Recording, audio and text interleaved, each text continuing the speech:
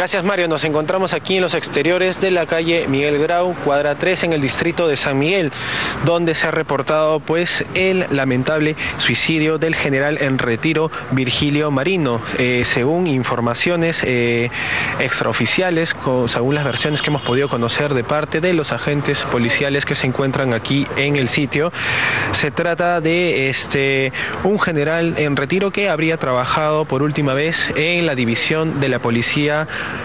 fiscal. Eh, según lo que sabemos también, el hombre de, al parecer, al promediar unos 50 años, se habría disparado a sí mismo al promediar la una de la tarde.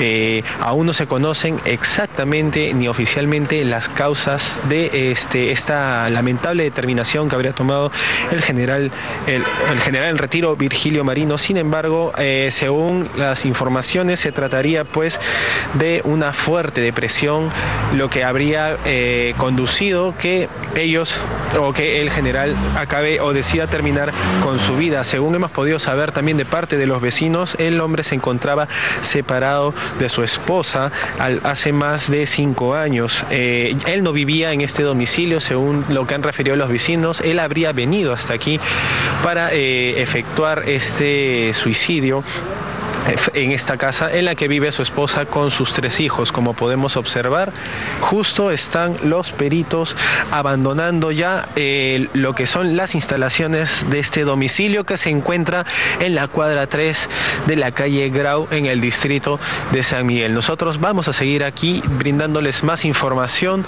sobre eh, este, esta lamentable decisión que tomó el general en retiro Virgilio Marino. Adelante estudio.